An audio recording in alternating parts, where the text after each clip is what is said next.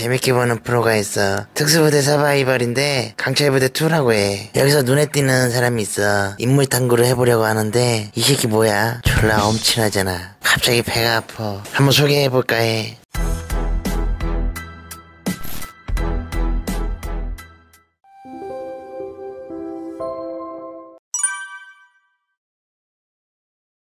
이름은 김항중 특전사 중위 출신이야. 1990년생이고 올해 나이 33살이야. 그리고 또 어머니는 MBC 웃으면 보기가 하여든 개그맨 공채 출신이고 어머니의 끼를 물려받은 건지 굉장히 재치도 있고 말도 잘하는 것 같아.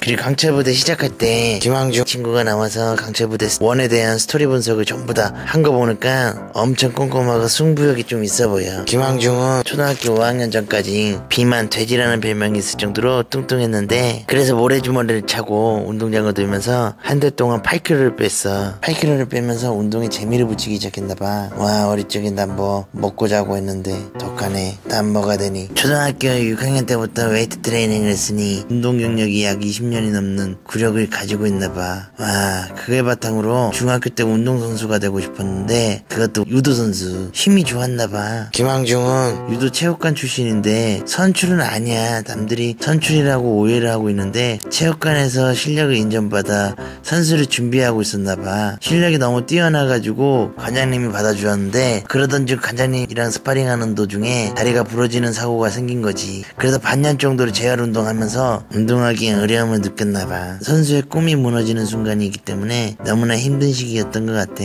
하지만 다쳐가지고 목발을 짚고 다니는데 와 이 새끼 정말 대단하다 생각이 들어. 문득 비보이는 손으로 걸을 수 있잖아. 그러면서 비보이에 입문한 거지. 와 씨 멘탈 죽인다. 야 멘탈. 이런 멘탈이면 못 먹어도 건데. 다리 부러지면 어떻게든 깔려고 했던 나와 너무 비교되는데. 이참에 반성하지 뭐. 배울 점 배워야지. 고등학교 때 비보이 팀을 꾸려 대회도 입상했어. 팀 이름이 뭐라더라? 리턴즈 크루 컨버스 대회 때 그때 진조 크루라는 유명한 팀이 있었는데 거기서 그 팀이 1위를 하고 리턴즈 크루가 아쉽게도 2위를 했지 아무튼 잘했나봐. 김황중의 성격은 승부욕이 너무 강해서 뭐든지 열정을 다해 하다 보니 다치는 일이 많았다고 해. 그러다 보니 공부를 해야겠다는 생각이 고2 때부터 공부를 했고 한체대 체육학과에 입학을 했어. 원래 꿈은 체육교사였고 대학교 1학년 때 석박사를 준비했었나봐. 근데 1, 2학년 때쯤 집안이 어려워지기 시작했는데 경제적으로 힘들다 보니까 군대도 가야 할 때가 됐고 장교를 가면 돈도 벌 수 있다 이런 말이 들어서 장교를 준비했지. 하지만 열정과 심장은 남자의 강함, 자부심이 넘치는 특전사로 돌리게끔 했어. 13년도에 인관에서 16년도에 제대했는데 특전사에 있으면서 제2의 인생이 시작된 거지. 육군 강봉보 모델이 발탁되면서 강단에서 서보고 사병들 면접도 보고 인터뷰도 해보고 뭐 이런 일이 저런 일을 했다 보니까 본인이 진행병이 이때가 있었구나라고 알게 된 것 같아. 내가 봐도 진행병이 있는 것 같아. 허. 카메라에 서는 것이 너무 재미있다 해서 이런 일이 무슨 일이 있을까 찾아보다 보니까 아나운서가 있던 거야. 그 아나운서 되고 싶어도 되나? 이 새끼 정말 대단한 것 같아.